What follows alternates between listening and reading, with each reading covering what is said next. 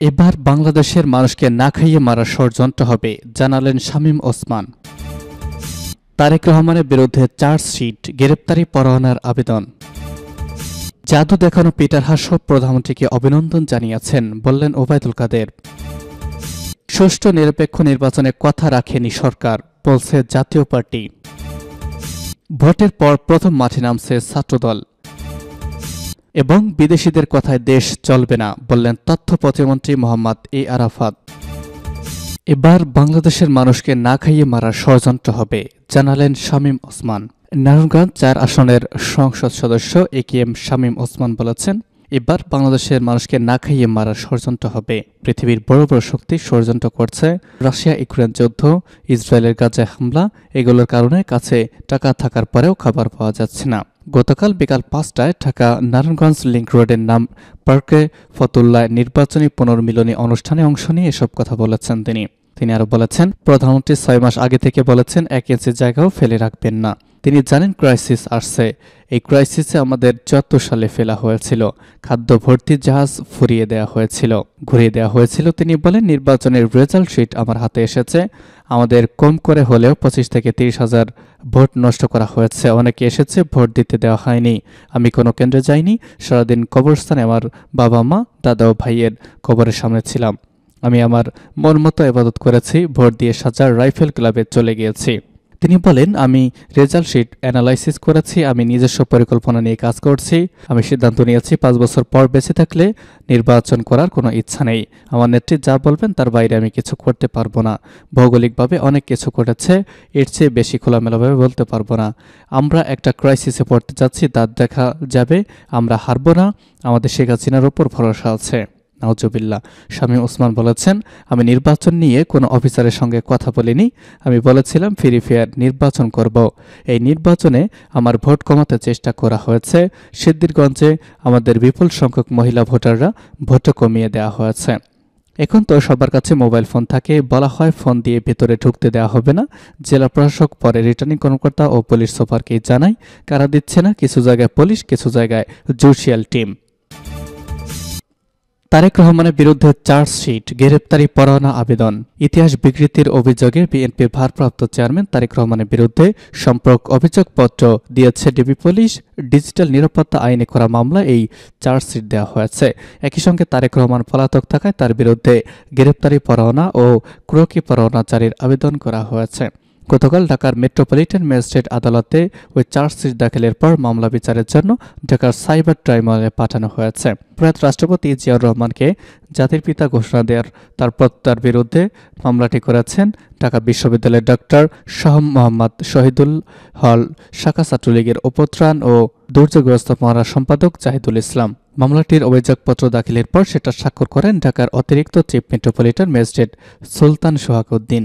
দু হাজার একুশ সালে পঁচিশ ফেব্রুয়ারি শাহবাগ থানায় দায়ের করা এই মামলায় বলা হয়, মামলার বাদী ও তার বন্ধুরা ঢাকা বিশ্ববিদ্যালয়ের টিএসসি চত্বরে বসে তেইশ ফেব্রুয়ারি মোবাইল ফোনে ইউটিউবে ভিডিও দেখছিলেন। এ সময় জিয়াউর রহমানকে জাতিপিতা ঘোষণা দিলেন তারেক রহমান। শিরোনামে একটি ভিডিও তাদের নজরে আসে।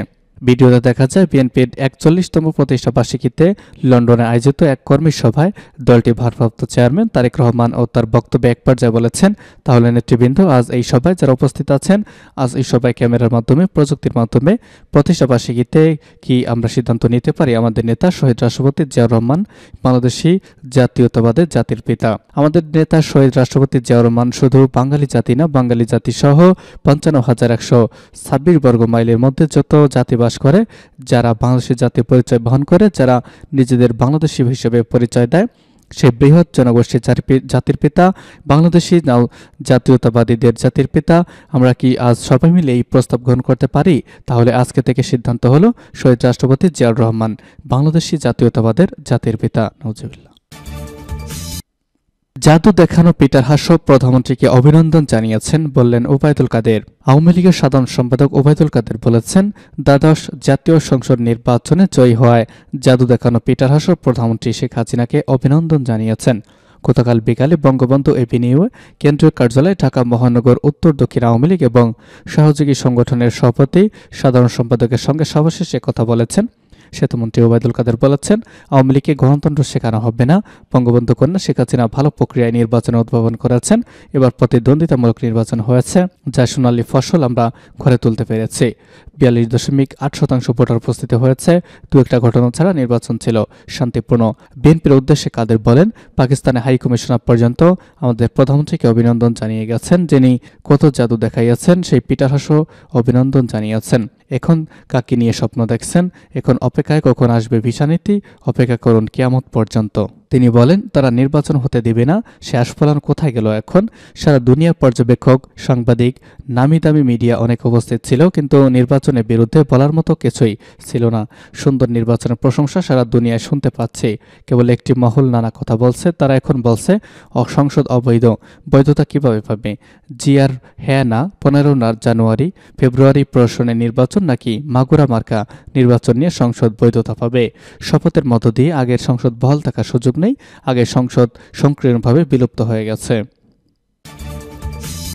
সুষ্ঠু নিরপেক্ষ নির্বাচনে কথা রাখেনি সরকার, বলছে জাতীয় পার্টি। সার্বিকভাবে নির্বাচন নিরপেক্ষ হয়েছে, কথা বলার সুযোগ নেই। মন্তব্য করে জাতীয় পার্টির মহাসচিব মজিবুল হক জন্য বলেছেন, কিছু কিছু জায়গায় নির্বাচন ফেয়ার হয়েছে, অনেক জায়গায় আনফেয়ার হয়েছে। এক্ষেত্রে সরকারি লোকজন জড়িত ছিল বলে অভিযোগ করেছেন সাবেক এই প্রতিমন্ত্রী। গতকাল বনানীস্থ দলের চেয়ারম্যানের কার্যালয়ে সাংবাদিকদের সঙ্গে আলাপ করে তিনি এসব কথা বলেছেন।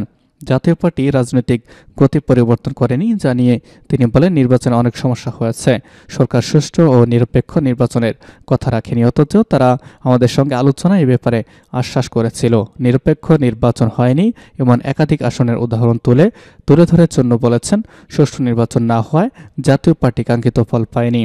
কোনো কোনো আসনে প্রিজাইডিং অফিসার আওয়ামী লীগের প্রার্থীর পক্ষে সিল মেরেছে। তিনি বলেন, এগারো আসন নিয়েই বিরোধী দল হিসেবে সংসদে জনগণের পক্ষে সরকারকে জবাবদিহি করতে যা যা করা দরকার তাই তাই করব। জবাবদিহিতা করতে না পারলে পঞ্চাশ জন এমপি থাকলেও লাভ নেই।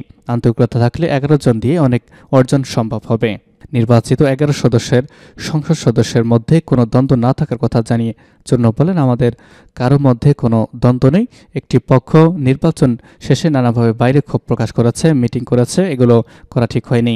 আওয়ামী লীগ ও বিএনপির মধ্যে বড় বড় নেতাদের বহিষ্কার করা হলেও কোনো সমস্যা হয়নি জাপাতেও হবে না। দলের মূল নেতা ঠিক থাকলে কাউকে বহিষ্কার করলে দল ক্ষতিগ্রস্ত হয় না।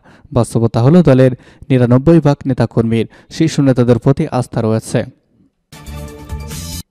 ভোটের পর প্রথম মাঠে নামছে ছাত্রদল। দ্বাদশ জাতীয় নির্বাচনের পর প্রথমবারের মতো মাঠে নামছে ছাত্রদল। বিএনপির প্রতিষ্ঠাতা প্রয়াত রাষ্ট্রপতি জিয়াউর রহমানের আটাশিতম জন্মবার্ষিকী উপলক্ষে আগামী উনিশ জানুয়ারি ঢাকায় র্যালি করতে চায় সহযোগী সংগঠন।